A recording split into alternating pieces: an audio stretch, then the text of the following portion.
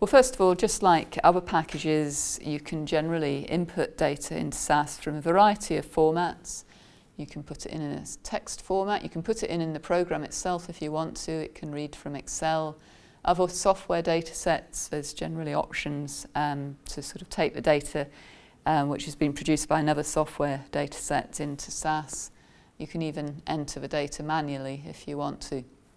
The, uh, one of the powerful things about SAS is its ability to manipulate data. Um, so it's very easy to combine multiple data sets in various ways or you can merge them. You can store as many data sets as you want during a SAS session. You can either store them temporarily or you can store them permanently. So you can sort of, you've got data you've manipulated, you can pick it up another time to do more work with it. In terms of functions, there's all sorts of functions on offer in SAS. I quite like the fact that if you've got text variables, it can manipulate them in all sorts of ways, you know, pick out different parts of the text to manipulate it. Times and dates, there are lots of formats available and it can read dates in various ways and output date, both dates and times in lots of different ways. It's got all the mathematical and statistical functions. It's also got functions to um, randomly generate data, so huge number of functions available. Just to show an example of manipulating some data, this is the sort of messy form I got that um, data set I've used for the example in. So actually it's not a very nice form at all. It's got a row for every time point and along the columns these are the different individual samples. It doesn't tell us, there's not really anything telling us exactly what a treatment is. We're going to have to extract that from this, this first row. We can read that into SAS. Once we've done that, there's something called the transpose procedure, which we can use to sort of turn this round so we can make each of these into sort of rows and have a variable that denotes this, the values in this first row. And so if we do that, we get these, it still doesn't look very nice, we get these names coming in as now as a column rather than as the first row. We can use a proc contents to see what the names, these variable names were, although it's reasonably clear from here.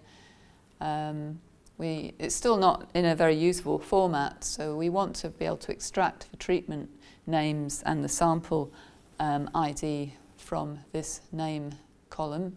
So we can use, there's a function called substring, which is quite useful. That allows you to sort of pick out bits.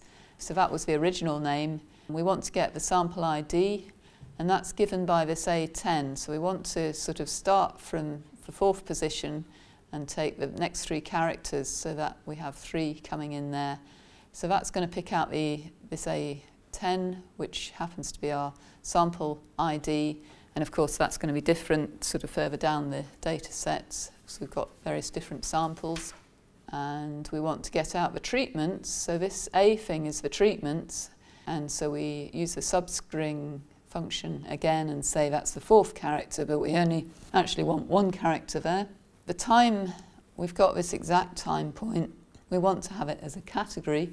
So to do that, we use the round statement. So we get naught if it's time points, sort of naught to six hours, six for sort of six to 12, and so on.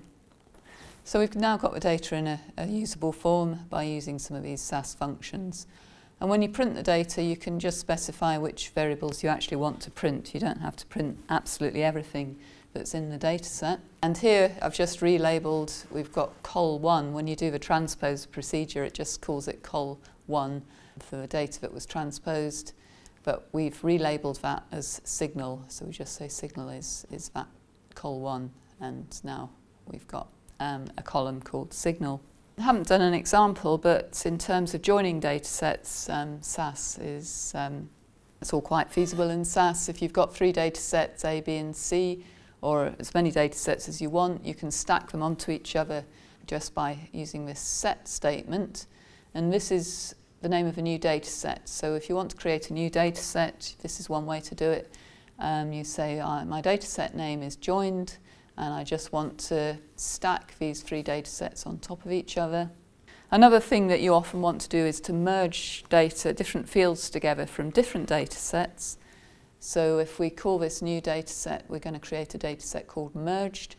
then we use, instead of a set statement, we now use a merge statement. We're going to merge the three data sets together, but you have to merge by something. Um, it has to know what its variable to join up the fields by, and here it's going to be ID, D, so that might be your sample ID. If we've got measurements of the samples from different data sets, different variables from different data sets, we would join them up, but for the same ID in a new data set.